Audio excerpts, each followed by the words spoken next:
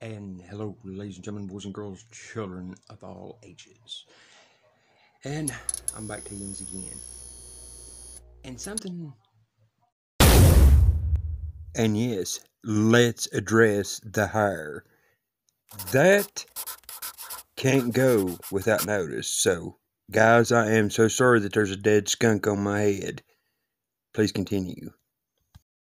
A movie called Peeping Tom. So I watched Peeping Tom and looked into it.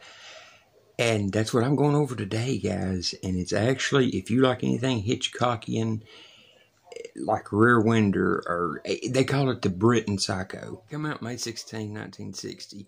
And this is a couple months before Psycho. See, this movie bombed at the box office. Actually, it was on for, they let it be on there for a week because it actually showed a little bit of nudity, believe it or not. I think it showed like one breast or something like that. That is all it's 1960s. So that's you know bad. So it's directed by Michael Powell and stars uh, Carl Boehm. There's just check out the documentary "A Very British Psycho." It's on YouTube. You can check it out. It's pretty cool.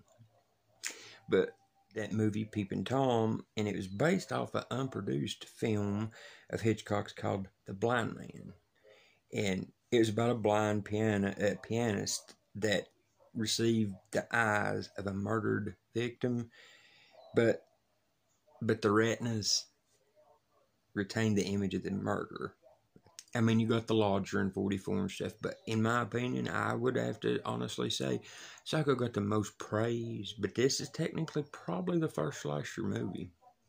Hitchcock seen how it done so bad in England and Britain, he wouldn't release Psycho there, so he released Psycho over in the States. And the first horror movie ever to give you, give the audience a POV of the killer, of course and to have the woman as the main hero too as a first. And the, the first uh, horror movie trope of sex and sin and that get you killed.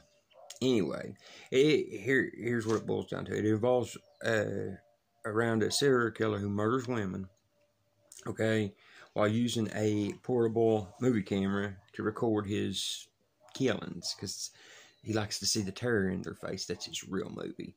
Mark lewis meets dora a prostitute, and he uh, films her with a hidden camera under his coat. Follows the woman into her house, murders her, later watches the movie in his den, and credits roll on the screen, just like it's a regular movie. Lewis, uh, Mark Lewis, he works as a member of a film crew, eh, but he wants to be, a, of course, a filmmaker himself he also works part time as a photographer for soft porn, like pin-up pictures and stuff like that. He says, you know, sells under the counter. Helen, uh, she's just a sweet-natured young woman who lived with her blind mother in the flat below him. She befriends Mark out of courtesy, and after he's been discovered spying on her and on her twenty and on her twenty-first birthday, no doubt, Mark reveals to Helen uh, through home movies taken by his father as a child. Mark's dad was using his son as a guinea pig.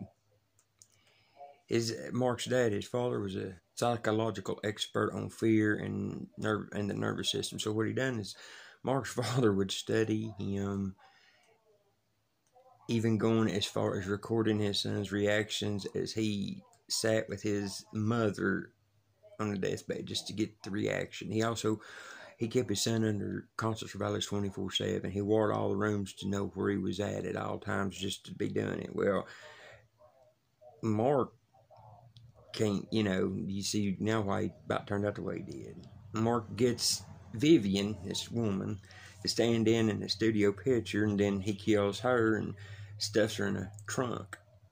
The law interviews everybody, including Mark, but Mark brings his damn camera with him and he leaves it recording. They ask what for. He says he's making a documentary. This is very important too. It's spoilers, by the way, of course. Uh, well, Helen gets Mark to go to dinner with her.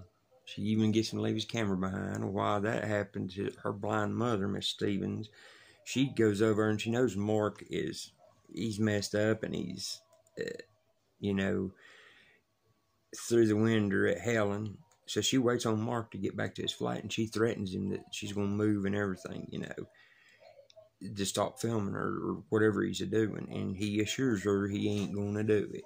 And he could have he could killed her. Law tells Mark uh, to uh, this uh, model's place named her name nude scene ever in Britain film.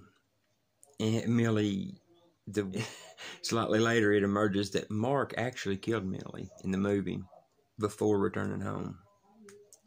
Well, Helen comes back and she comes into Mark's studio or house, whatever, and she sees that film and he, she knows he's trying to make a documentary, so she starts watching it. Bad mistake. With as the fear's growing on her face, Mark walks in. Well, he's got a tripod. It shoots out this little, or don't shoot out. It, it it's got a blade in it, a knife. He can get like a knife in it. That's what he's been killing the women with. And he's gonna kill. He's gonna kill Helen, but he don't. He stops. And all of a sudden, the police show up. now he's cornered. But Mark has planned for this from the beginning. Believe it or not, this. So what Mark does, he impales himself on that tripod with that knife, with the camera running He's providing the final death to his documentary. And the last shot shows Helen crying over Mark's dead body as the police enter the room. Anyway, gotta go. I know you dig the hair.